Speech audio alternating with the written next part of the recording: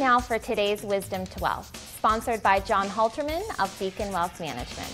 If one is taking systematic distributions, can you tell us a little bit about what that is? Traditionally, people build money up for retirement. So let's say, uh, in fairness, you build up 500 to a million dollars and then you go to retire and you want to use as an income. Well, a lot of people use the rule of either 4 or 5%, where they take systematically out of their account based on the uh, total they had. So if you had a million dollars and you're taking 5%, you might take $50,000 a year out of that account.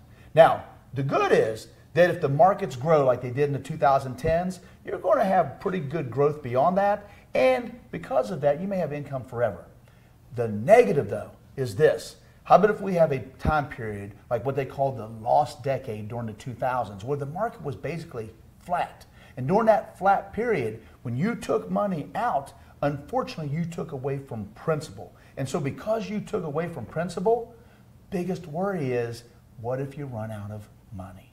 So, what is an alternative for that then? So, what you have to say is, what can I do smarter? Well, one of my beliefs is you got to segment. You got to be able to say, how do I take distributions where it's worry free and I don't have to worry about the market potentially putting me in a position to where I run out of money. And so segmentation strategies or a segmentation investment strategy is a thing that we utilize to help people avoid that situation. We are here to help. For more information, call or visit our website today.